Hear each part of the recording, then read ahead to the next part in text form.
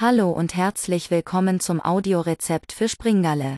Die Zubereitung von Springalle bzw. Ennisbrötli ist ein Dufterlebnis und bietet sich als Gebäck für die Advents- bzw. Weihnachtsbäckerei an.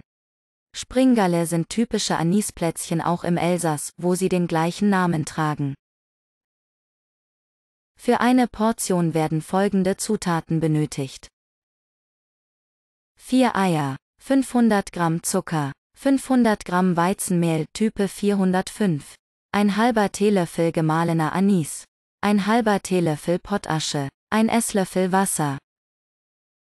Folgende Utensilien werden benötigt.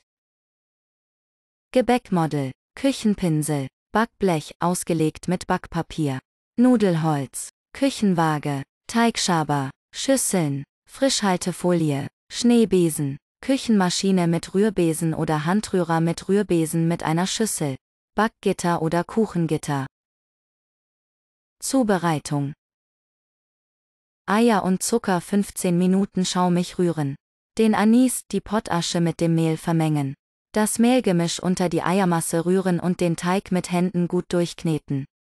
Den Teig in Frischhaltefolie einpacken und eine Stunde im Kühlschrank rasten lassen. Den Teig auf 5 mm Dicke ausrollen, in die mit Mehl ausgestreuten Modeln eindrücken und stürzen. Die Teigplatte in die einzelnen Motive zuschneiden. Das Gebäck 12 bis 24 Stunden trocknen lassen, ruhiger Ort, gleichbleibende Temperatur, kein Durchzug. Die einzelnen Springgalle auf ein mit Backpapier belegtes Backblech geben. Die Springgalle bei ca. 150 bis 160 Grad Celsius auf der untersten Schiene im Backrohr ca. 12 bis 15 Minuten lang backen. Die letzten 5 Minuten einen Kochlöffel in die Backofentür klemmen.